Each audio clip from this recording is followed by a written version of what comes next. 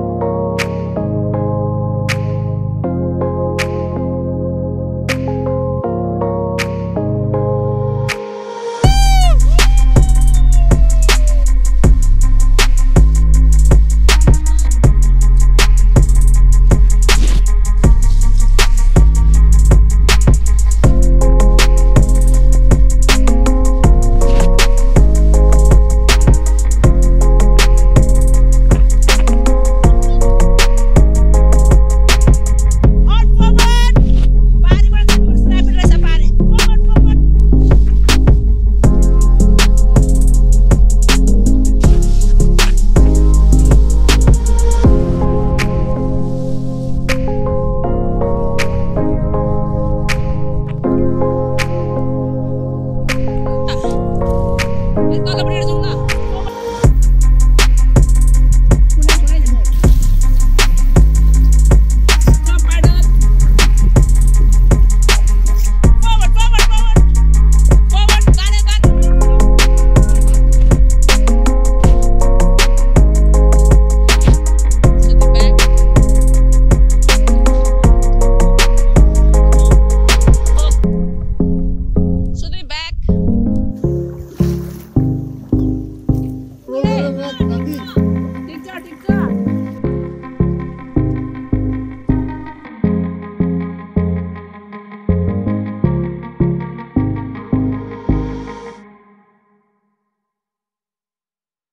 आजको एकदमै राम्रै थियो।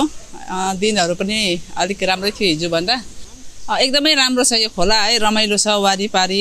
एकदम सेफ पनि छ सबैभन्दा चाहिँ अलिकति। अब अहिले चाहिँ यो मौसममा अब यो अलिक रेनी सिजनमा चाहिँ अलिकति त्यसको चाहिँ वेब्स अलिक बढ्छ होला कन्टिन्यू वेब्सहरू भेटाउँछ होला जस्तो लाग्दैछ यो माथि यो सिचुएसन हेर्दा चाहिँ।